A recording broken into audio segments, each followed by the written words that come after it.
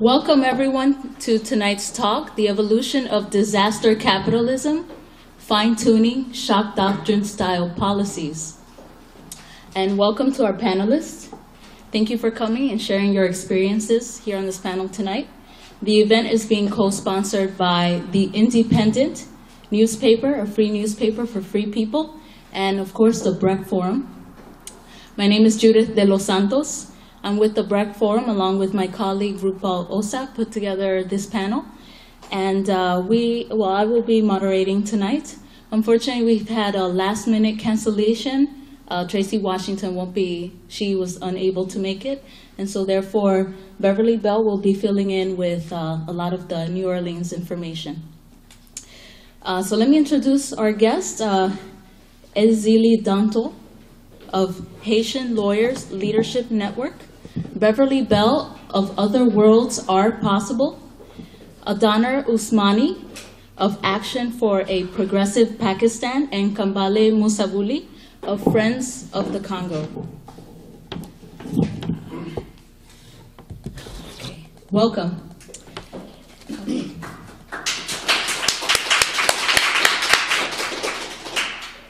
The end of the first decade of this new millennium has been marked by some of the worst natural disasters that have displaced and killed millions of people. Worst nat- uh, natural disasters. This is what the media has coined as the ma- aftermath we encounter, where the aftermath is beginning to mirror the wars in Iraq and Afghanistan and have generated a complicated and fractured terrain on which human rights and economic justice are seriously compromised. In her book, The Shock Doctrine, Naomi Klein describes this as such. Countries are shocked by war, terror attacks, coups d'etats, and natural disasters. And then they are shocked again by corporations and politicians who exploit the fear and disorientation of this first shock to push through economic shock uh, therapy. In essence, the uses of disaster conditions to push through economic policies that a population would less likely be able to accept under normal circumstances. Within this decade alone, we have seen the earthquake in Jurat, Ju, Juharat, India in 2001, volcanic eruptions in the D Democratic Republic of Congo in 2002, as well as war conflicts within the Great Lakes uh, region in Africa, the earthquakes in China and Algeria in 2003, the tsunamis of 2004, the earthquakes in Pakistan's northwest frontier province in 2005, uh, Hurricane Katrina in New Orleans later that same year, the earthquakes in Haiti and Chile in 2010, and now the cholera outbreak Haiti is currently experiencing, along with Hurricane Tomas. Today we'll take a look at what disaster capitalism has meant in this decade. A concept that is not new However, with the frequency of occurrences of these disasters, especially in this decade, one has to wonder, has disaster capitalism evolved? What does it look like in these specific regions? What trends are evident? Under these circumstances, how are groups organizing? If uh, each of the panels can name some concrete examples of successful uh, campaigns and how can we support them? And also, uh, we are going to end on the note, what structures of accountability can we strengthen or generate?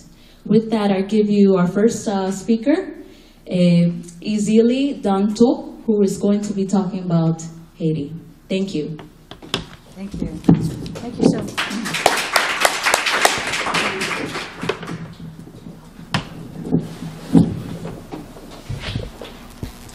Good evening, everyone. Thank you so much for inviting me um, to the Brecht Forum. I think this is my second time here, and I truly appreciate it. And I um, thank you for coming and for being interested in Haiti and what we do at the Haitian Lawyers Leadership. I was born in Haiti and raised in America. I first went back to Haiti as an attorney for President Jean-Bertrand Aristide, and that was in 1994. And uh, I have been running the Haitian Lawyers Leadership Network since. Um, the experience of that is the reason that I'm s- sitting here today. The experience of what folks might call disaster capitalism. I, I say Haitians have been facing the barbarity of the West since 1503, when um, the first boatload of Africans were chained and brought to Haiti, the first place that we were that the Africans were brought to. Um, and so, though now it has this name of disaster capitalism, I'm going to talk within the context of what I know as a Haitian woman, as a Haitian lawyer, and as a Haitian activist who went back to Haiti, trying to bring a new paradigm to Haiti and finding out that um, the United States Agency for International Development, the US, France, and Canada, and all of the Western countries do not want development in Haiti. So, so that was a wake up call for me um, because I did believe in, you know, I pledge allegiance to the flag, you know, for you know, justice for all. But for my people, the one person, one vote rule does not apply.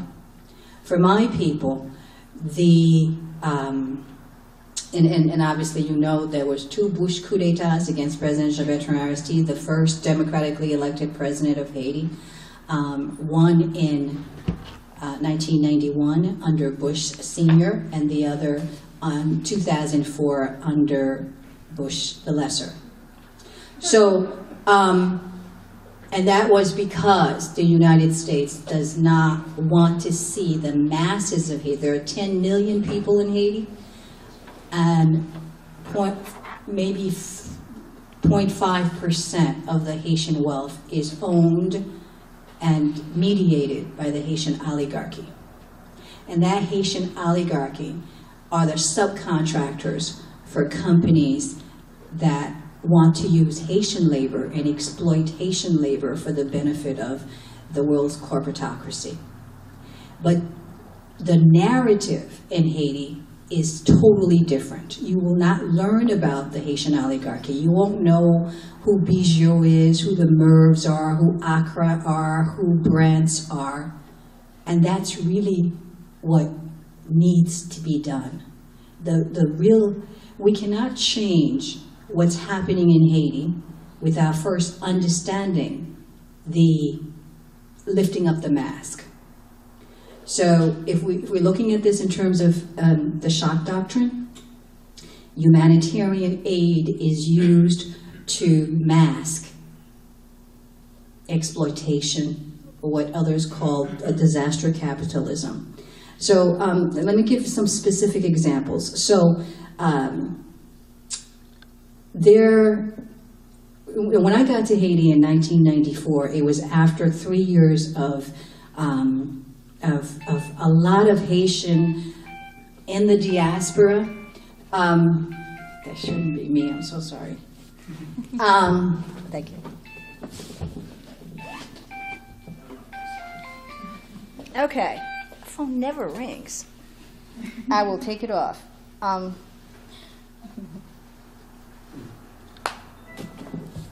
All right, so um, why does the United States uh, keep Haiti contained in poverty? Why? Um, you all know that we just had a, a, a earthquake on January 12th, and that earthquake in 33 seconds killed over 300,000 people. I was in Haiti about a week after that, and if they're saying 300,000, I'm going to say to you that it's, it's much more than that. I mean, they don't have the figures really, because 98% of the rubble 10, 11 months later is still on the ground. So if they didn't lift up the rubble, you know, there's some people still there. They're just decomposing.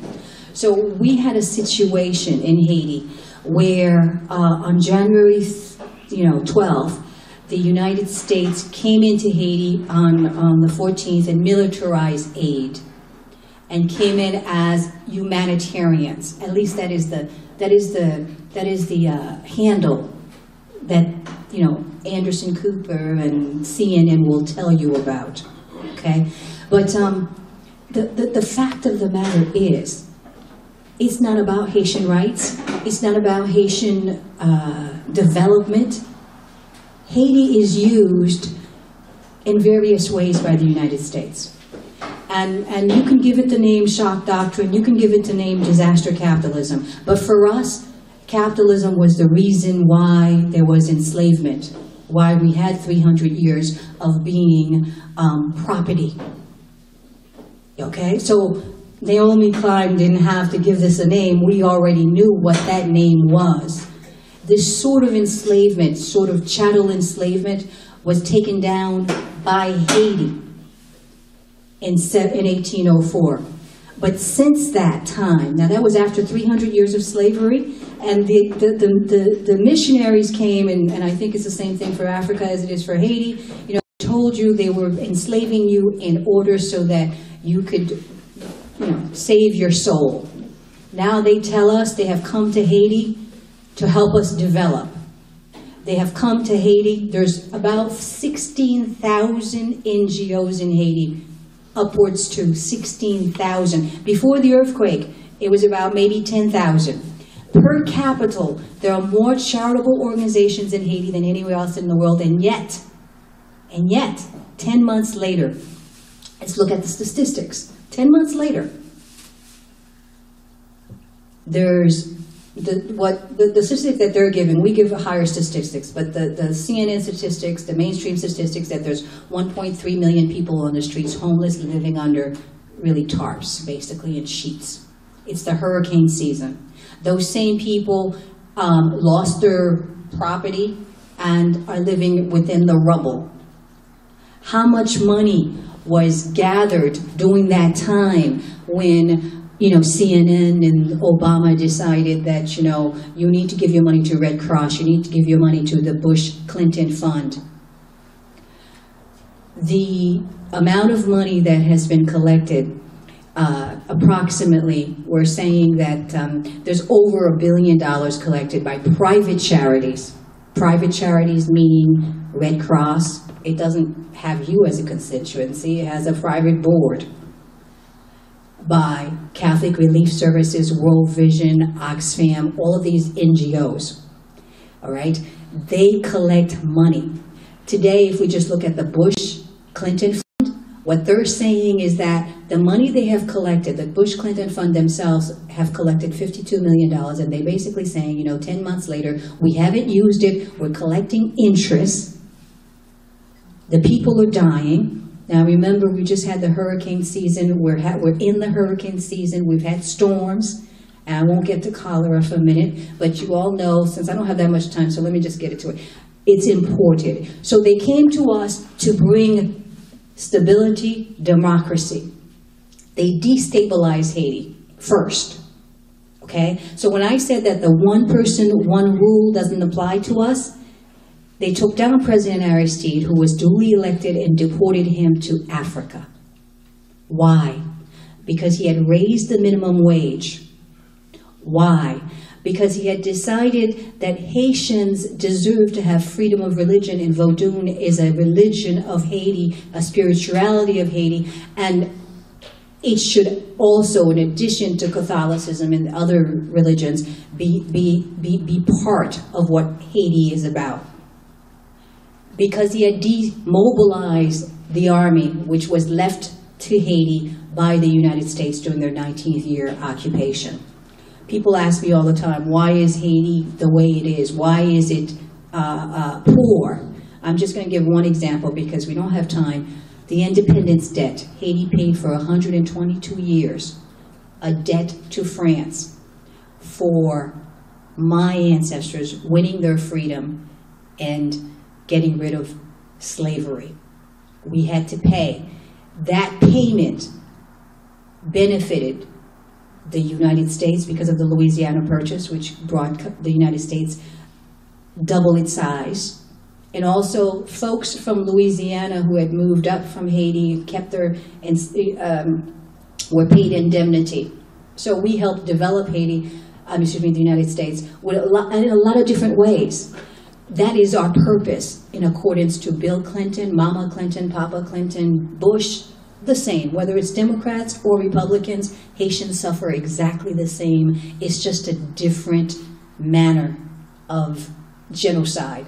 And right now, there is a genocide going on in Haiti. And I, I, I, um, I want to give some very specific examples about what that means. So you have um, in Haiti at the moment a, um, a scenario where upwards to 16, well, before January, before the earthquake, we already help, had help in Haiti. We had the UN. And there were, there were 9,000 troops in the UN that were making $610 million per year. They had been there for six years. So they had collected over $3 billion in our name to bring us democracy, to bring us development. Not one pipe for clean water has been laid in the six years that the UN has been there. Not one. Clinton and Bush were assigned by Obama to come and help us doing this, this, this amazing natural disaster. And, and I, I put natural disaster in quotation marks. You see? So, so, so, so, um, what did Clinton and Obama do to earn the position of coming to Haiti to be the Clinton Obama fund to help Haitians recover? What? We know Clinton from the Rwanda genocide. We know Clinton just apologized right after the earthquake for destroying Haiti's agriculture. He apologized. He said, My policies when I was in office helped destroy the Haitian agriculture. So, what qualifies him now to be nominated by himself or the UN? It wasn't a Haitian that decided, but now he is the head, co head with the Prime Minister of Haiti of what they call the Haiti Recovery Committee or whatever that is. So supposedly, Clinton and Mr. the Prime Minister is going to look at what the donor countries. Remember, I say that the, the there, there's been charitable funds, and they say the the, the statistics I've read is that. Uh, out of every household, like half of the American households, opened up their pocketbooks because of the earthquake and gave money to organizations. They expected when they gave that money, Americans expected it was for emergency help. You see? Today, if you ask any of these folks that collected the money, they're going to say to you, oh, we're holding on to it for long term development. So they're not using it for emergency help.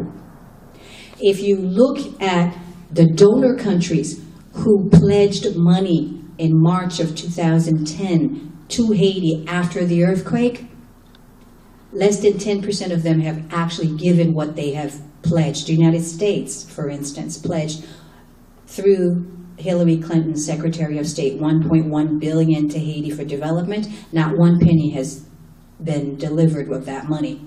Small, tiny countries have put in their money, like Estonia.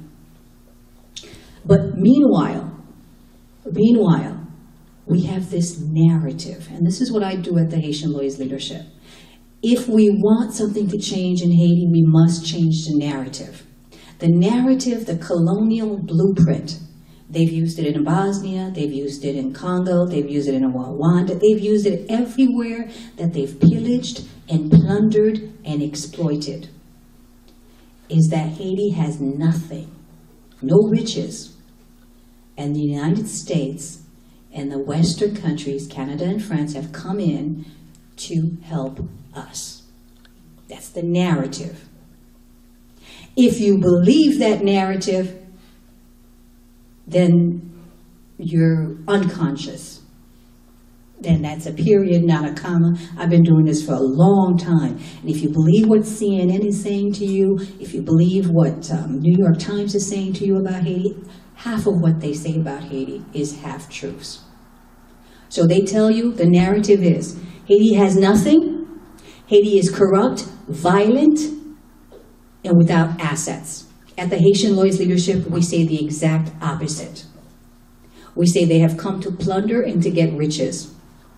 We say Haiti's riches is the reason why the United States landed in Haiti 20,000 troops on January 14th. Haiti lies between Venezuela and Cuba. Its strategic place in the arena where the United States wants to govern. Those two countries are two countries that have not followed the capitalist uh, model you see? And Haitians, Haitian peasants, the tiny Haitian peasants, they have a model that, that, that existed before Lenin and Marx. And that model scares United States policymakers. It is a model where you wake up, you own the property that you're in, and you go out and you eat off of the land and you work in combination with your neighbors to build. It's called a combite. Tiny, but it's in Haiti. It bothers the United States so much that in their policy, Clinton's policy was to force the Haitians on the outback to move into um, the city and um, work for their factories and become these workers. So when they, they did everything they could to destroy the Haitian peasant, okay? I'm just going to give you one example. The Haitian peasants had this, the, their livestock, their most important livestock was their black pigs. And that's what they used to, they would sell these black pigs at points in time during the season in order to send their kids to, to, to school.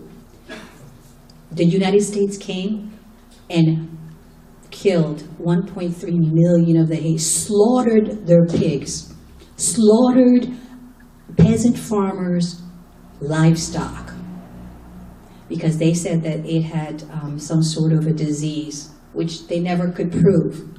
Once they did that and impoverished those Haitian uh, uh, farmers, they, they had to, many of them moved into the city, if the capital of Haiti, and that's where they would meet. And, and, and, and, and of course, you know, the idea of um, assembly plants, this is what um, the UN thinks is development for Haiti.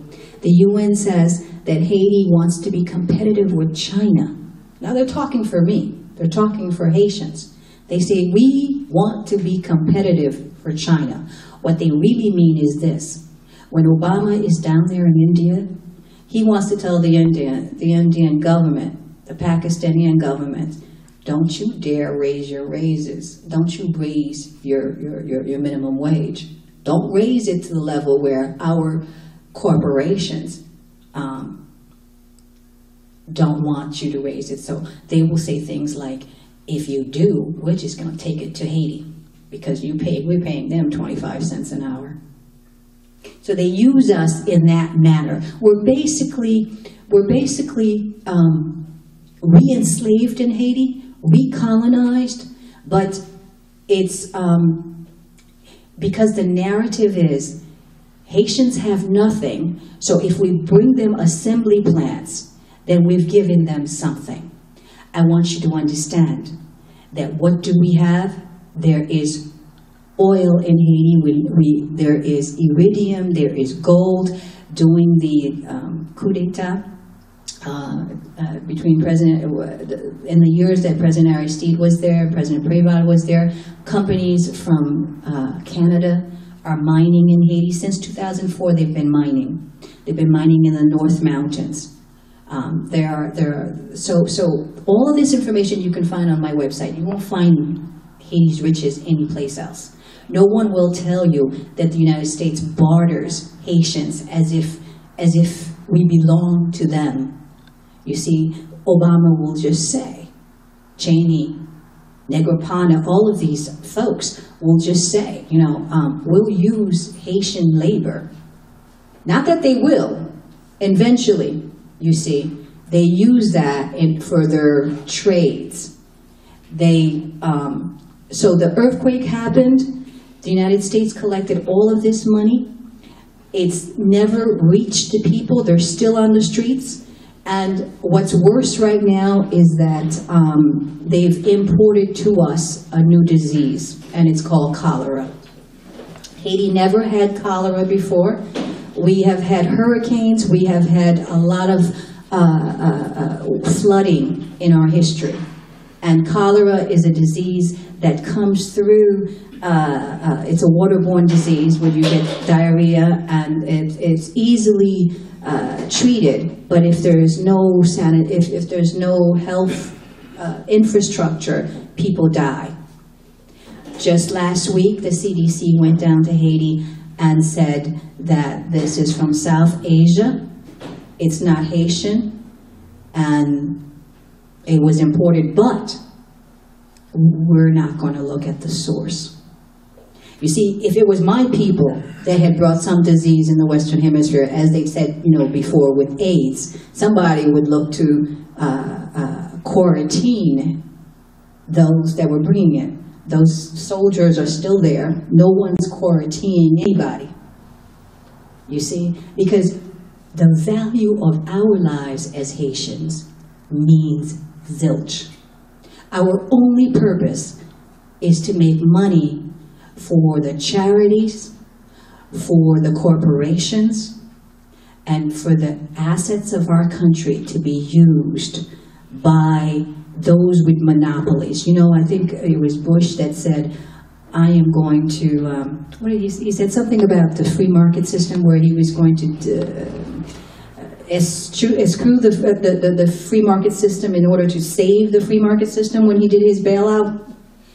There's something really weird like that, he said. Um, there's never been truly a free market system. In Haiti, it's about monopolies. The same family does all of the school uniforms for the entire country, and they've had this monopoly. The same families have uh, uh, uh, the fuel monopoly. You know, it's just monopolies, and that's how the United States is. Like you don't see it though.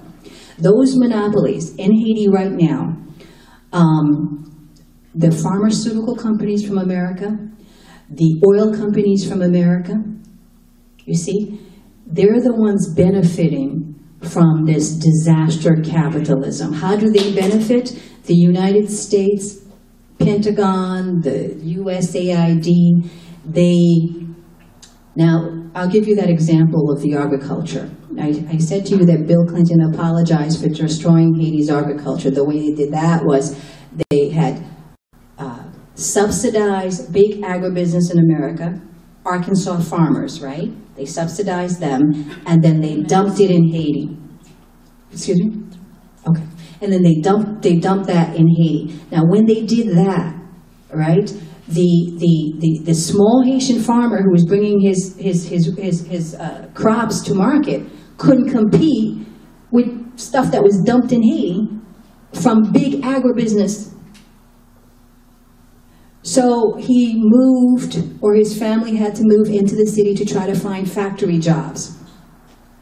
When the Chinese brought down their labor force, or the Indians brought down their labor force, the factories that were in Haiti left and went over there. And that left the slums of Cité Soleil, the people that had moved into the area of the capital. That's why you have Cité Soleil. Now, those folks in Cité Soleil, at some point in time, around 19, um, you know, they helped to bring President Aristide to power. They were massacred by the folks that the United States of America trained at Fort Benning or at Ecuador, who headed the Haitian army, massacred between, between 1991 to 1994 when President Aristide came back. Okay? And that was Bush the first coup d'etat. So when I say to you the legacy of impunity and violence, it normally comes from the supporting of the oligarchy and imperialism in Haiti. So, so, so as a lawyer, when I went back to Haiti, I thought that I could uh, bring about judicial reform. Clinton said he wanted Haitians to go and help Haiti. That was back in 1994. But when I got to Haiti, I was told that unless I worked for an NGO, unless I worked for USAID, unless I worked to bring about the uh, idea of Haiti that the United States wanted, which is they want us to look like the Dominican Republic. They want us look, to look like Jamaica, where we're maids, butlers, and um, props to a tourist industry, and where your land is owned by foreign tourists and the Haitian oligarchy, and you're just like props. You're just their maids and butlers, okay? So that is what United States, it, I call it false benevolence. At the Haitian Lawyers Leadership, we do the counter-colonial narrative. We were the first to bring, to push this cholera that is not Haitian and push and try to get mainstream media like the Reuters and Al Jazeera and, uh, and uh, so forth to actually go to the place where the Nepalese base are, where the soldiers were putting their raw feces into the Haitian river that gave the people this cholera. But you won't hear this on CNN because we're supposed to be diseased. But if we had been diseased, remember we have hurricanes and flooding all the time in Haiti. You would have known about it mm, a long time ago. So they have brought to us all of this destruction, destroying of our agriculture, destroying of our uh, livestock, destruction of our even our health, and destruction of our ability, or when we try to, to, to elect a president that would use the assets of the country to develop the country and to bring sanitation, uh, communication, electricity, uh, health. The United States says you've got to leave that to the free market. One thing, let me just say, okay, can you quickly mention something about the mining industry very quickly? Just a few comments.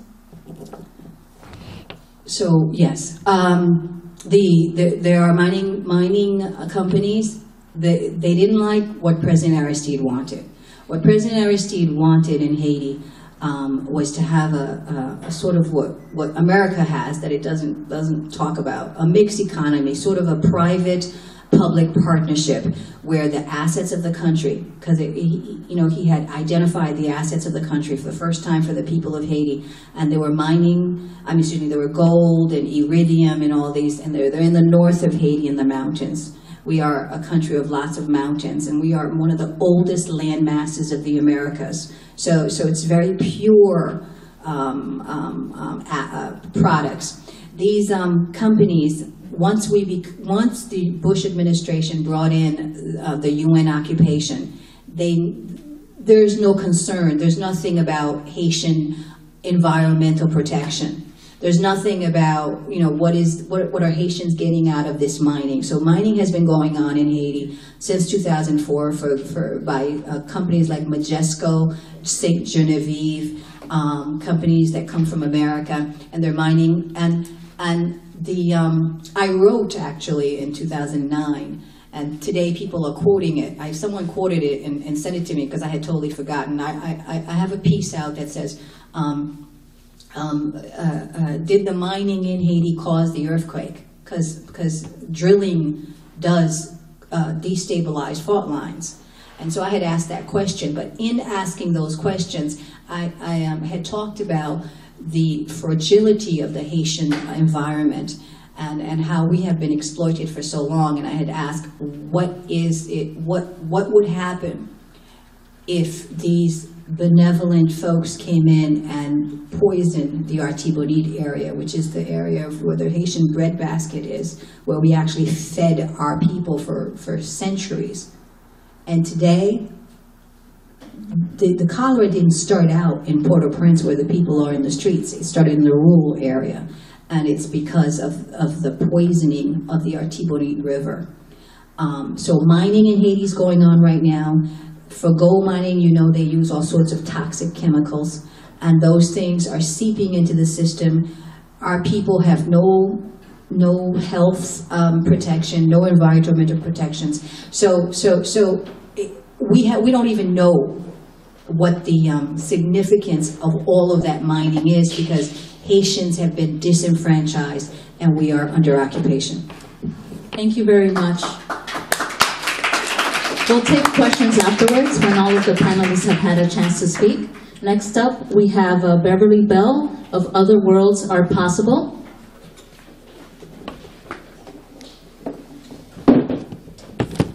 Thank you. I'm so delighted to be here. And I have um, a dual perspective on the world as a fourth generation New Orleanian who was born, raised, and live in New Orleans, and who has worked in Haiti with popular movements for 30 years. So I'm going to speak about both a little bit of comparison, building off of what Ezili spoke about, but also adding a little bit of a New Orleans um, element to it.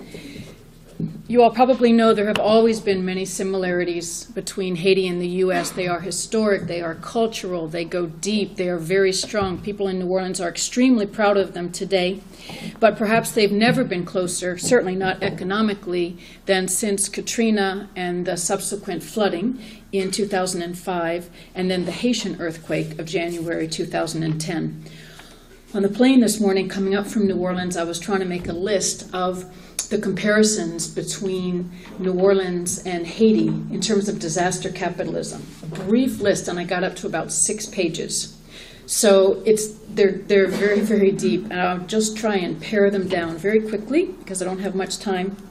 But in both cases, we have seen how poverty and capitalism represent big business. It's what Jordan Flaherty, in his wonderful, wonderful new book, Floodlines, sort of the consummate story of disaster capitalism in New Orleans. I can't recommend it enough. But it's what he called corporatization, militarization, and privatization of aid. In this is loud. In both cases, the devastation of the catastrophe was only partly about nature. Remember that Hurricane Katrina didn't even hit New Orleans, it actually dodged New Orleans. But it was mainly about the context of classism, racism, and exclusion. In both cases, black people were characterized as savages who needed to be policed. In both cases, the media falsely reported looting and violence in what was actually a very calm situation. In Louisiana, Governor Blanco put out a shoot to kill order.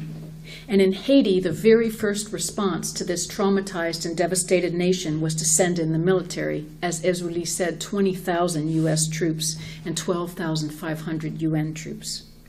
In both cases, the majority population, which is extremely poor, was left out of all formal decision making and has not benefited from these decisions. Both peoples have been denied the right to return, guaranteed in the UN principles for inter, internally displaced people.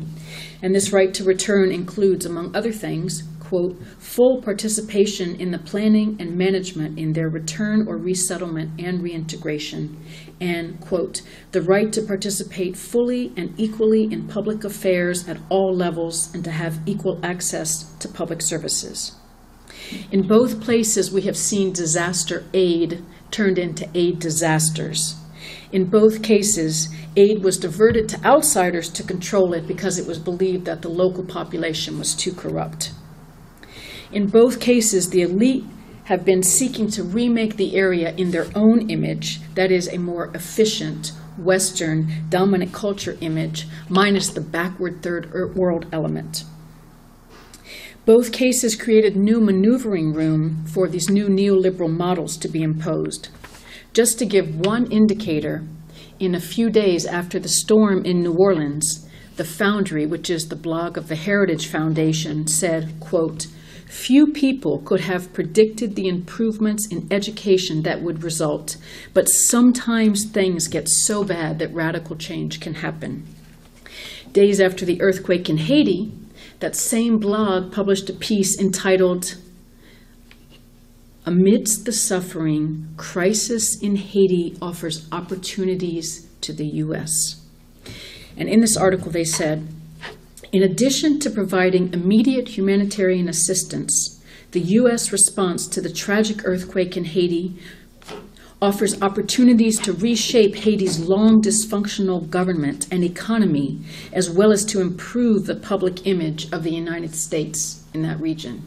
You won't find this on the website because people made such a scandal after it was seen that they immediately took it down.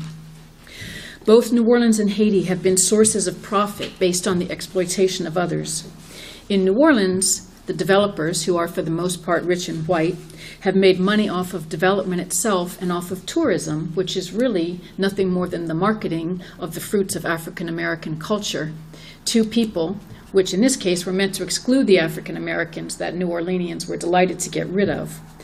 In Haiti, as Ezili mentioned, the Reconstruction Plan, the linchpin of redevelopment of both the US and the UN is the expansion of sweatshops, where people earn a pitifully unlivable wage of $3.09 a day. Both have had reconstruction based on legalized sub-minimum wage. In Haiti, this is happening as cash for work programs, cleaning up rubble, through which there has been an exemption in the minimum wage. And in New Orleans, it's primarily through Latino laborers. And for this, Bush suspended the Davis Bacon Act, which protects minimum wage and other workers' rights. There was a huge uprising about this too, and he had to reverse that decision, but he actually said that it was okay not to pay minimum wage in New Orleans. In both cases, there, were hu- there has been huge money for repair and reconstruction going to outside experts, both NGOs and corporations. This is in part, as I mentioned, because the elite doesn't believe that the local people are up to the challenge. But in Haiti and New Orleans both, what we see are many U.S. contracts going to multinationals well connected to the U.S. administration and to nobody more than the Clintons. There's a revolving door in contracts from Iraq to Afghanistan, to New Orleans, to Haiti, especially in terms of security.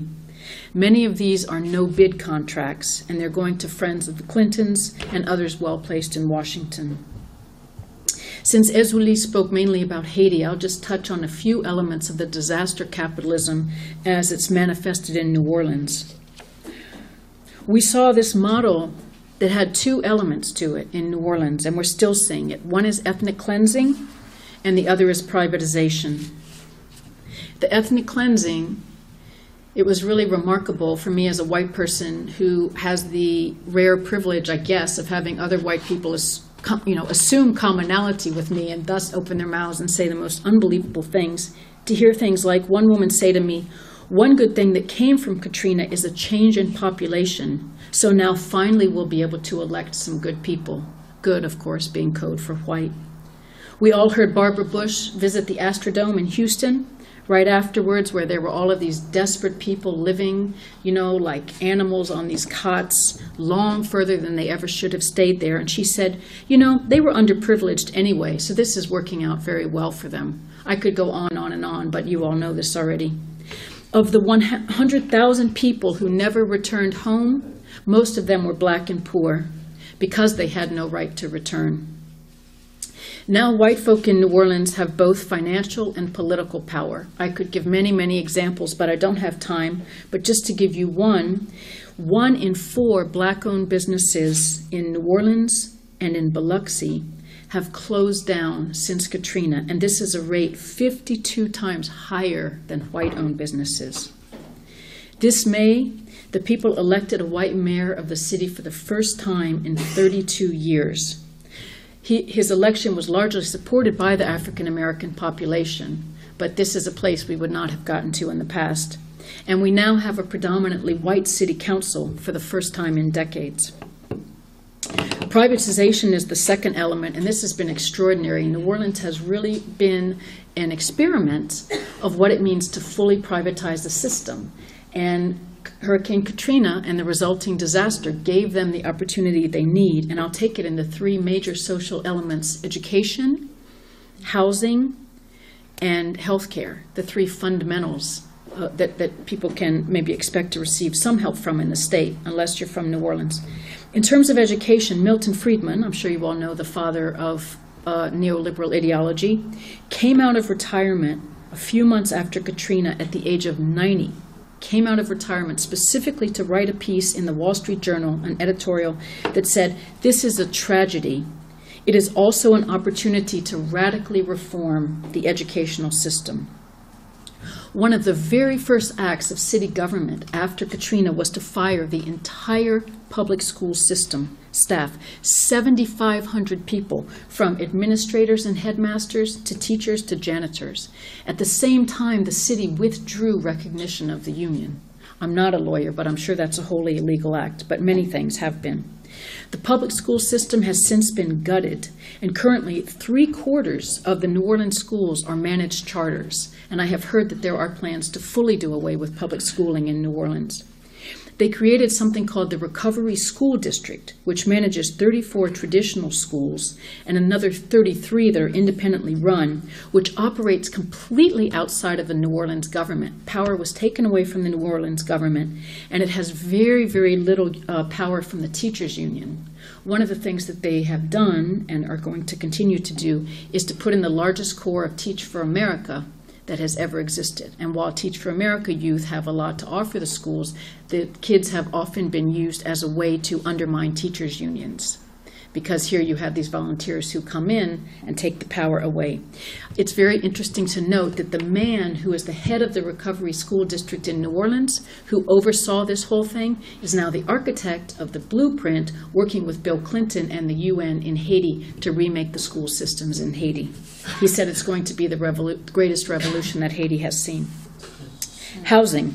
After Katrina, homelessness rose. You can imagine we lost half of our housing there, or it was damaged, with almost 5% of the city, or 12,000 people, homeless. So at the same time as you have 12,000 people on the streets, public housing projects were not damaged in the storm. They were among the few buildings that weren't because they were brick, they were structurally sound.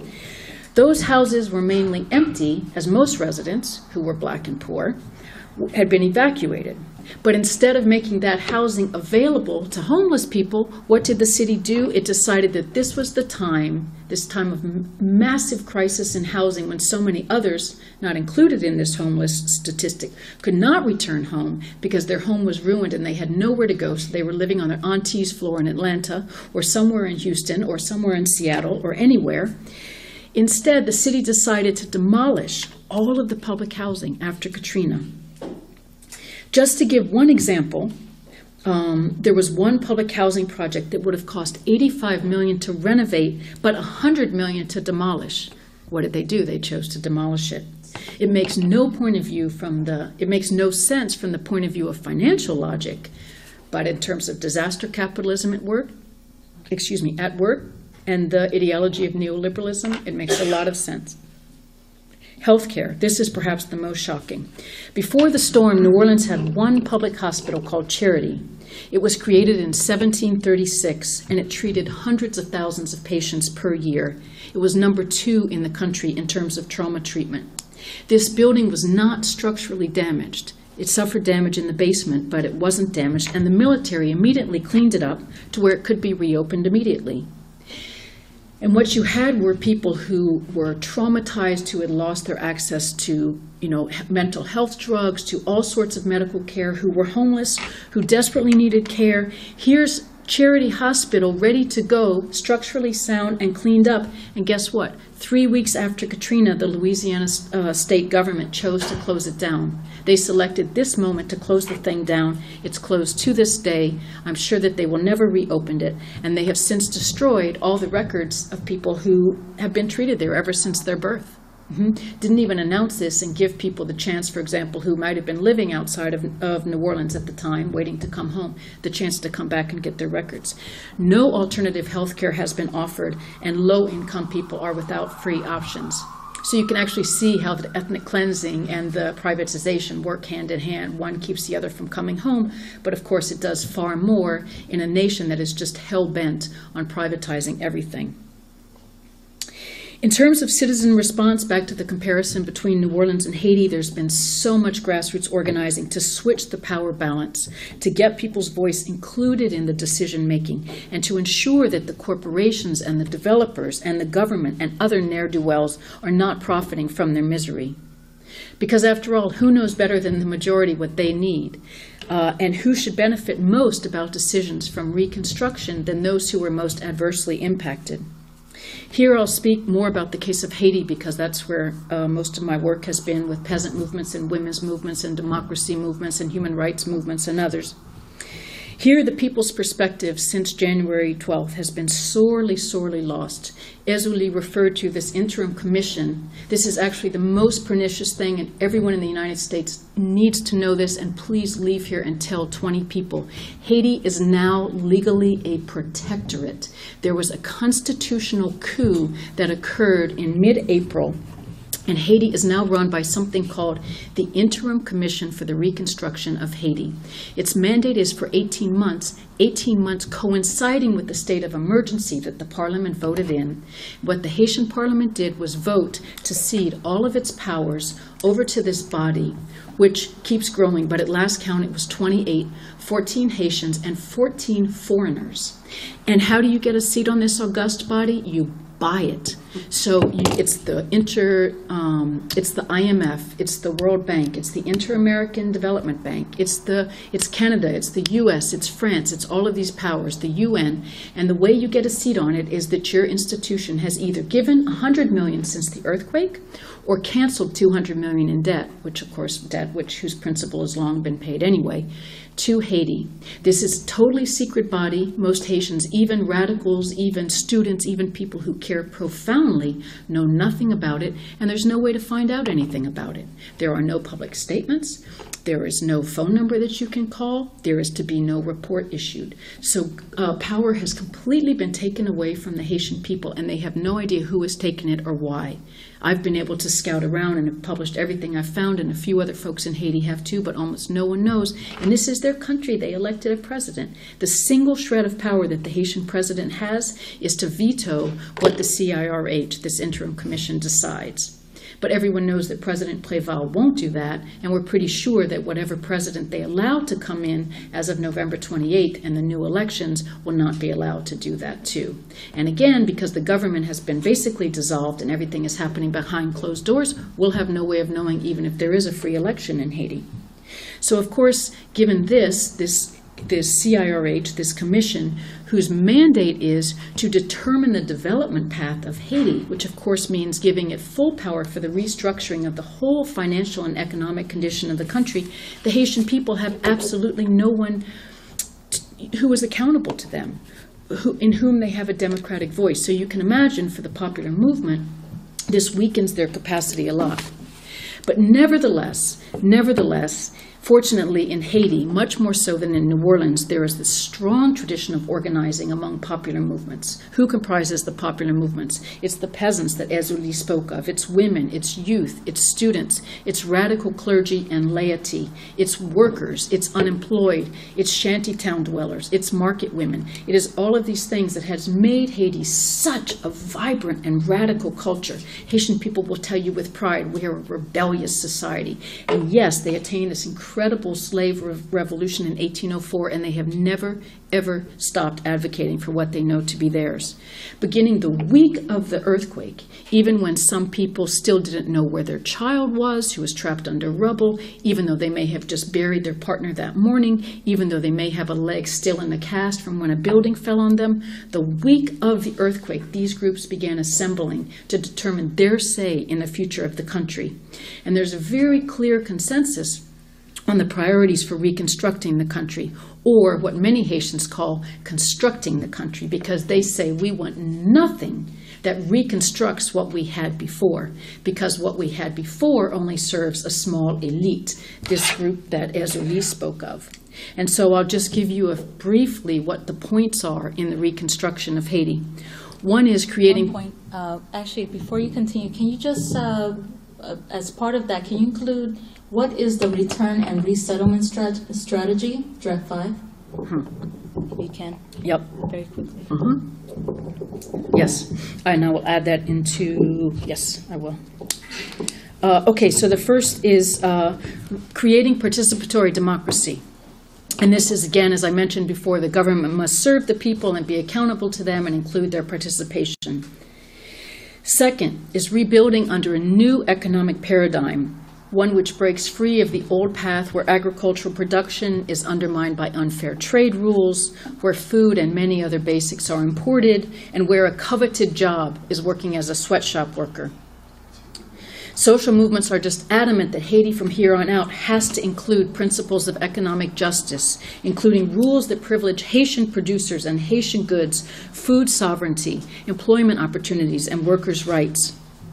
Putting social needs at the center is critical. And here there is no group more needy and more deserving and, and more unjustly treated than the 1.5 or so million people who are still living 10 months after the way that pigs might live on a farm. They have no roof. They have uh, shredded tarps, most of them, where rains are coming in. So many of them were destroyed in this most recent tropical storm and in earlier storms. They have no floor, so they're sleeping in the mud. They're completely exhausted and sick all the time, even pre cholera, because of this. And so, 10 months later, we have finally, with the help of some investigative journalist friends, found the plan for the US and the UN that no one has ever known because it's never been made available to the people. And it is this three point plan. Um, um, that Judith just referred to that is utterly absurd. It lays out plans for a technical um, shift in these camps, like returning people to their homes. But something like 96 uh, 95 to 98 percent of the rubble, as Ezili said, is still remaining on people's homes. I mean, this rubble is huge. This is not a little rubble. It's like, you know, you walk down the streets where there are hills the size of room that are filled with rubble. So every single element of that point is absurd, and furthermore, there is no political will to get these people out of camps. They've just been forgotten, like the folks in New Orleans in the formaldehyde filled FEMA trailers. So people are saying, and I got this list, I sat down with a group of women in a refugee camp, and this was the list that they came up with, so I can't think of anybody who is more expert than they in terms of what their social needs are, and this is the priority they gave. Housing first, food, healthcare, education, and work. So they're demanding that this be placed at the center of the reconstruction. Privileging agriculture. In a country where the rural farming population comprises 65 to 80 percent, depending on who you ask, redeveloping peasant agriculture is critical. It's been destroyed in two ways. One is by two IMF standby agreements that reduce trade tariffs in some cases from 50% to 0.5%. Hmm? Yep. And uh, the second is um, today by the dumping of uh, food aid by U.S. agriculture, which made it, which has made it almost impossible for farmers to compete. Okay, I'll cut it right there. Um, I'm just going to close with one little paragraph here. Um, yep. I'm just going to say that the last is ensuring women and children's rights. But I just want to close with one very common expression of the, the sentiment of the Haitian people and their determination. And this is a quote by a man who works at the platform to advocate alternative development in Haiti named Ricot Jean Pierre. And you can hear this exact same sentiment um, and the hope and the faith and the determination behind it expressed all over Haiti. He said, Sadness can't discourage us so that we stop fighting. We've lost people, as in many battles, but we have to continue fighting to honor them and make their dreams a reality. The dream is translated into a slogan Another Haiti is possible. All right, thank you so much, Beverly. Now we have Kambale Musavuli of uh, Friends of the Congo.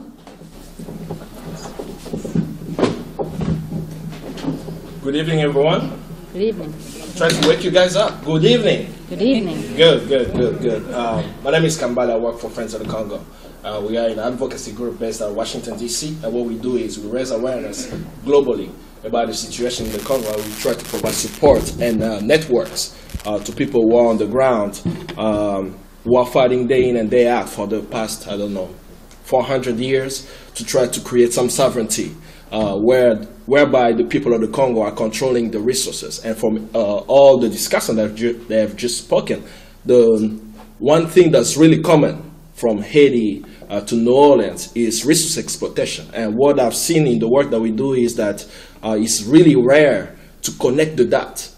That uh, for people to advocate to end apartheid and forget Liberia, or for people to try to solve the issue of New Orleans and forget Haiti, or for people to try to end the killing of six million Congolese there and forget that Nepal and India have an issue that we have to deal with with the water. So the issue of exploitation around the world is all connected, and it's, it's really going to be up to us, uh, people who understand it, to, to know that, as um, Dr. King said, injustice anywhere is a threat to justice everywhere. So um, I wrote up a few points in uh, regard to uh, disaster capitalism. You know, speaking even uh, to Judith earlier, you know, uh, we can use that term, uh, but at the end of the day, it's really exploitation of the people where you are maximizing profit and not considering uh, the human beings living on the land as human beings, but more so as commodities that you can remove uh, from different area. Uh, in the context of the Congo, you know, the war officially ended in 2002, and that's really where we saw how disaster capitalism really came into play, where we saw directly the IMF and World Bank coming in into the Congo, and they actually wrote the mining laws and the forestry laws of the Congo. And as they came in, uh, they literally bankrupted a state, uh, a state fir- uh, mining firm called Gécamines, who controlled most of the assets of the country, where they privatized uh, the, uh, the mining assets of the country and gave it to foreign corporations. You know, we saw the Freeport McMoran coming in, we saw Banro out of Canada coming in. We saw even um, Adastra, which was American Mineral Fields, and was so common by everything that we're saying. The same name coming coming up, but nobody has arrested him yet. Bill Clinton. You know, he has done a lot of things around the world, and some of the situation that we are seeing in the Congo unfold today is due to U.S. foreign policy under the Bill Clinton administration, uh, where they, they favor strong men uh, who will give unfettered access to the resources. Um, so the other thing that happened also, besides just um, stripping the mining assets from uh, Gécamines, uh, one of the uh, top mining companies in the Congo, um, they fire as soon as they uh, um, the asset. They fire their employees. And some of the things that pro- they promised their employees was a pay, a compensation for them losing the job. Up till today, they haven't received that pay. Um, the the laws, as I shared with you, that govern how we mine really was written by the IMF World Bank. So how we cut the trees in the Congo, for example, is really uh, in a way where we don't even understanding it's going to affect our ecological system. You know, Congo has the second largest rainforest in the world. Uh, did you know that there is a serious problem with an American company here uh, uh, cutting trees like there is no tomorrow? He's an American guy. Nobody knows his name. Living right here in New Jersey. Look him up. Elwin Blattner right here in New Jersey, and he runs Elwin Blattner. Elwin is E L W I N, uh, Y N, and Blattner is B L A T T N E R. There is a documentary called Enjoy Poverty 3 uh, that was done by Renzo Martens, uh, where he filmed uh, him in the Congo. Uh, because uh, the situation with this guy is kind of interesting. So he has these plantations that he took over. Some of them are around uh, the Lake Maindombe, and the Lake Maindombe historically is where Leopold II hid a plantation that other foreign nations did not know. That's actually one of the plantations that got him in trouble. Beside other nations exploiting resources a hundred years ago in the Congo, in the Lake Maindombe, he had a closed plantation that nobody knew, and he was exploiting it at a, I mean, a maximum profit, getting rubber out of the Congo. So that area uh, right now, Elwin Blattner, his firm is the Blattner Group, owns it, and th- they are cutting trees and getting into the rainforest. And uh, he has about six plantations, and the average employee uh, numbers of employees in the plantation is about three thousand employees per plantation. 3,000, about 3,000. Uh, and um, just to give you an example of how much the employees in the plantation are paid, one of them was asked uh, by Renzo, uh, asked, have you ever bought a TV? He said, no. Oh, have you ever bought a suit? No. How long have you been working? 10 years. You haven't been able to save money to buy a suit or a coat? I say, oh, if I work a little hard, you know, I'm, I'm going to get more money. And while he was talking to him, he was just laid off. Now, here's how interesting the concept of laid off is. You are laid off, but you have to come to work to prove that you can work again. So he was working at the plantation as an unofficial employee, not getting a salary, so he could get his job back. And he was being interviewed by Renzo for that. So now, the other issue that took place was that the children in that village uh, the, the different villages who are around have issues of malnutrition. You know, you have kids who are really sick, and I mean, really horrific images. I was even uh, angry when I watched the film because Renzo filmed these kids there. Then he took the, uh, the um, Doctors Without Borders, did the studies around the village. They had the documentation of uh, what was happening there. Of course, there was no pressure on Erwin Blattner. So he takes the footage and he goes sees Erwin Blattner. Of course, he didn't know why he was filming him. And they, in the middle of the interview, so he present him the fact. Know, you have a, these children in this village who are malnourished and this and that. And the most outrageous thing I heard from his mouth was his defense. He said, well, uh, let's say I have a thousand children in these villages who are malnourished. If about eight or 18 of them die, I'm doing pretty good. Now, this guy knew that there are people who are dying there of malnutrition and his employees are not paid and still was able to say that on camera. You know why he said that on camera? Because it was done in French and he never knew that it's going to be translated in English and be shown now here around the world. But of course, I share with you, he's right in New Jersey, take the PATH train, say hello to his house, citizen arrest. I hope you guys can perform that whenever you're able.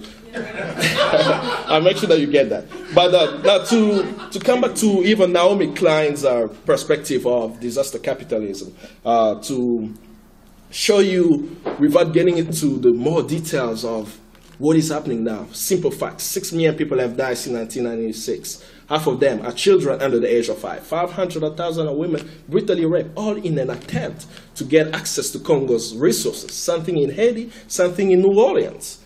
But it's happening right now. The worst crisis since World War II, the deadliest conflict today.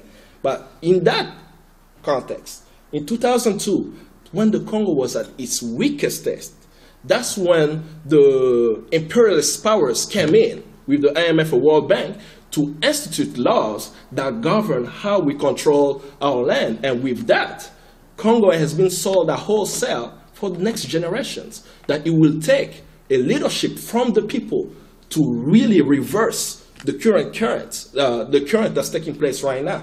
Now, what are people doing? You know, there are a lot of issues I can talk about. I can talk about the rebels in the east who, are, who have control of the east. I can talk about the government in, the, in Kinshasa, in the west of Congo, who ruled by the gun and have kept people in check. You speak up, you killed. You know, they killed uh, Armand Tungulu, uh, supposedly was an activist who threw a stone at uh, the president's convoy. Um, he was arrested and uh, supposedly he committed suicide in his prison cell. Uh, we have another one, Chebeya, who died June the 1st, also a strong activist. So many people who speak out in the civil society and people who are fighting, they are in harm's way, just like during the apartheid movement. Now, what are they doing? Um, I will speak about Katanga, because that's where the most vibrant labor movement is located. Uh, and Katanga, to my standard, is the richest area of the Congo. That's what, what you don't hear about. The largest copper reserve in the world is located in Katanga and is controlled by an American company called Freeport McMoran. You don't hear about that. 64% of the cobalt in the world, a mineral that is essential to the aerospace and military industry of the United States, is in the Zambia Congo uh, belt, copper belt. You have companies there such as OM Group out of Cleveland, Ohio, who are getting that uh, cobalt, but they were able to receive it at wholesale price due to the mining laws of first law that existed and an elite government um, that is giving them a federal access to those resources. Um, now, with the resistance, the most successful, uh, what are the, the, civil society doing? They are writing, they are writing a report, they are uh, publishing it, and they are providing it to porters. So some of the civil society in Katanga publishing their report have been able to get it down to South Africa, to Southern Africa Resource Watch. Uh, with Claude Kabemba will make sure that people know what is happening with the Freeport McMoran and what they're supposed to do. But the challenge now with what they're publishing is to getting it to the American civil society so that the labor movement here can connect with the people who are in the Congo, just like we did with South Africa. Uh, the second thing that uh, we saw from the civil society um, I think in around 2004, if I'm not mistaken, I hope uh, my date is correct, uh, the civil society initiated a mining review of the contract because we had many mining, com- uh, mining companies who came in while the conflict was happening to get sweet deals. Uh, some of the, the average percentage that came back to the Congolese state was around 12% for most of the mining operations. But through civil society push, uh, they actually had some partners here who kind of helped. The Carter Center at uh, Atlanta kind of helped, and some of the uh, Southern African Resource Watch in South Africa, and uh, some uh, Dutch organization pushing to renegotiate those contracts. Uh, the Lutundula Commission was launched, found out that about 65 companies were, I mean, their contract was really odious and definitely de- detrimental to the company. I mean, you have a company such as Banro, who has a gold mine right where the conflict is taking place in eastern Congo, and they make a 100% profit on the gold that, that comes out of there. They made the initial payment to rebels, and they don't make anything to the, uh, to the country. So with that pressure on the civil society, that created the uh, mining review.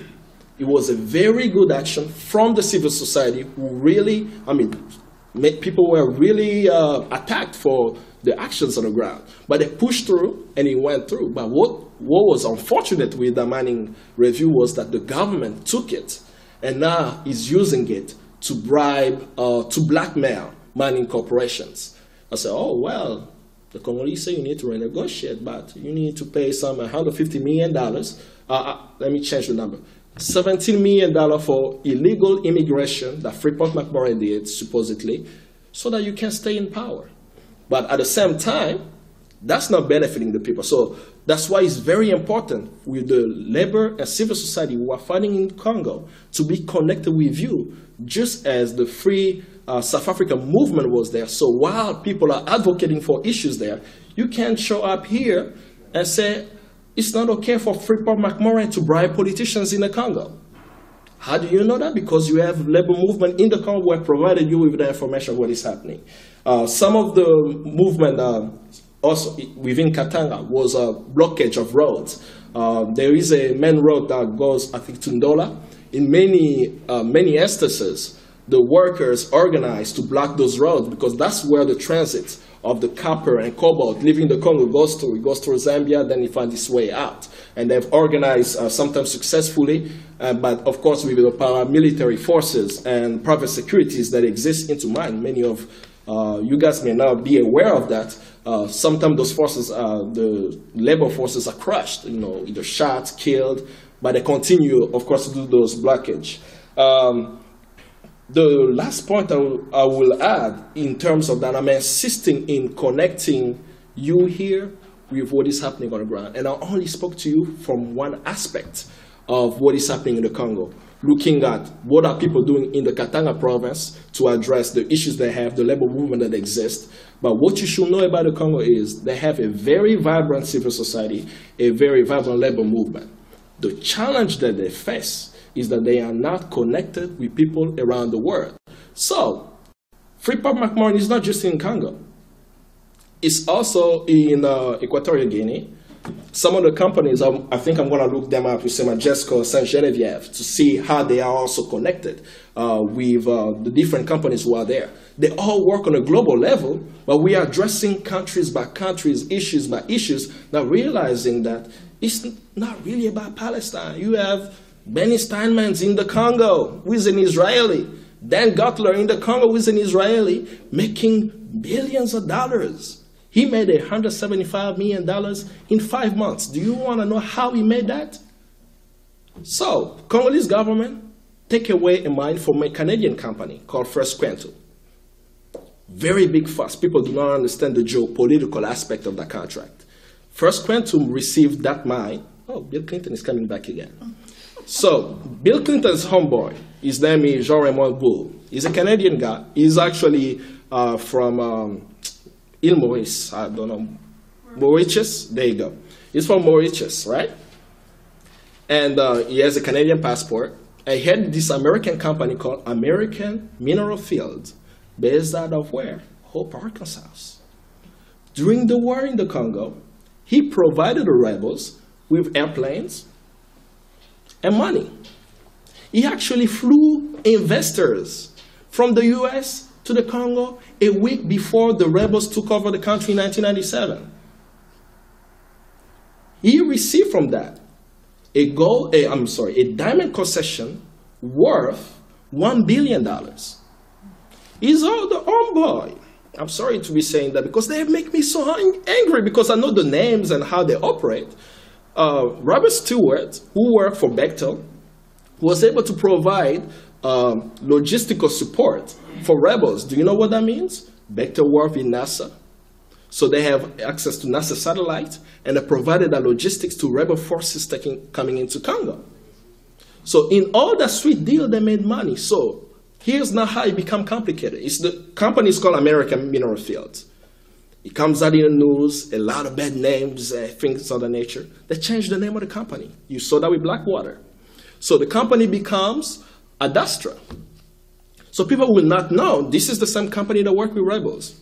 Then after the mining review goes around, they start taking away the, uh, the mining companies away from some of this, this company. They change it, they, they don't change the name, but they sell it to someone else. They sell it to First Quantum, which is the Canadian mining firm. So First Quantum was listed there. Now here's how crazy this is. Now, the companies looting the Congo are invested, they have investment from the World Bank. How so? The International Finance Corporation in the tune of $1 billion have risk uh, insurance, so equity stake, within First Quantum. So it's in their best interest that this company looting the Congo is not out. And they wrote the mining laws and they wrote the forestry laws, so they know how they can get him there for the contract. Last year, uh, for the past two years, there has been a serious clash between China and the US because of Congo's copper and Congo's cobalt.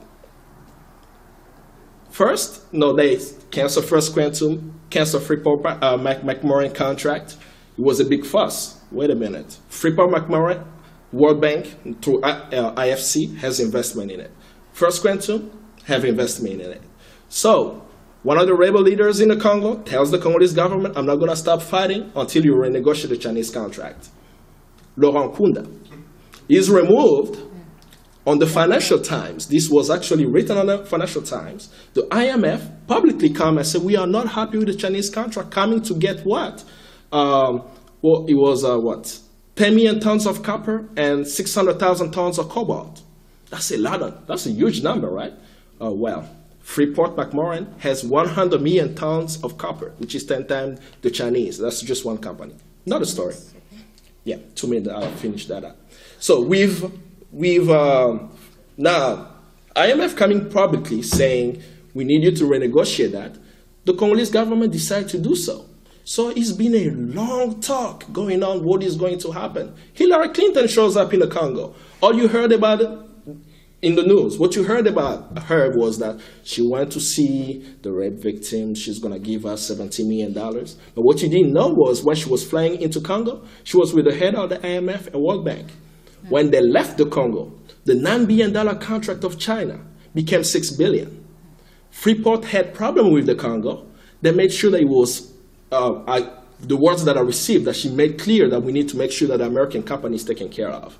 The Congolese government didn't hear that. So in the beginning of this year, uh, our black boy, what's his name? I'm sorry to call him black boy, he's an elder too. Ambassador Carson goes to the Congo. Ambassador Carson at the State Department. He goes to the Congo and in a press conference in Kinshasa, he says, we would like the Congolese government to normalize the situation with Freeport McMoran. Now, this is a company that displaced people, caused environmental degradation, have the largest copper reserve, and had on the mining review less than 12% profit given to the Congo. Now, an ambassador is saying that. But with all of these games, right, what we will end up talking about is what? Africans wantonly killing each other, not even showing where the weapon factory exists, not even talking about the oligarchs who control uh, the situation there and who are the real money changers. And I hope after tonight we all can connect and connect the dots. Don't just fight for the Congo. I don't want you to come and help the Congo.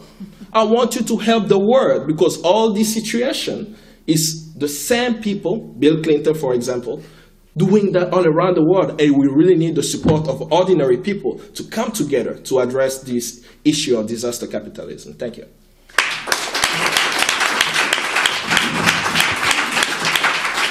Okay, so now we have Adaner Usmani. Adaner Usmani. Oops, sorry. Next. How long? Can you give, can you give me like five? Um, hi, good evening, guys. Um, so I, I'll, I'll just go quickly because I, I feel like uh, time is short.